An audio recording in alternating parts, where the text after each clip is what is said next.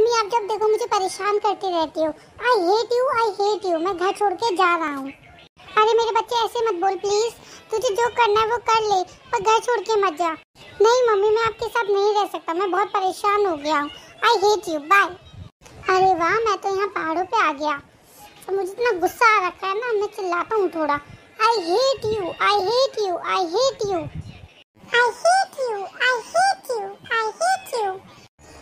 ये कैसी आवाज़ है? ये कौन बच्चा मुझे आई हेट यू कह रहा है?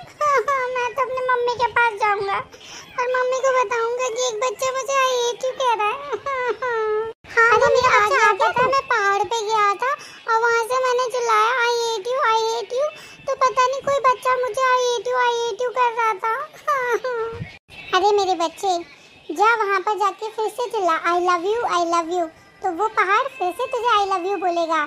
क्योंकि जो हम बोलते हैं दूसरों को, वही हमें मिलता है। तो हमेशा सबको अच्छा अच्छा बोलो तो तुम्हें भी अच्छा अच्छा ही सुनने को मिलेगा। अच्छा मम्मी, ऐसा होता है। सॉरी मम्मी, मैंने आपसे बुरी तरीके से बात करी। मुझे माफ़ कर दो। आज के बाद मैं कभी भी गलत तरीके से नहीं बात करूँगा और आपकी सारी बात मानूँगा और सबसे भी अच्छे से बात करूँगा। किसी को भी कभी भी बुरा भला नहीं बोलूँगा, ताकि अगर मैं नहीं बोलूँगा बुरा भला तो दूसरे भी नहीं बोलेंगे मुझे बुरा भला। थैंक यू मम्मी, ये बात समझाने के लिए। आप लोगों को समझ में आया? दूसरों को अच्छा बोलोगे तो खुद भी अच्छा सुनोगे। बाय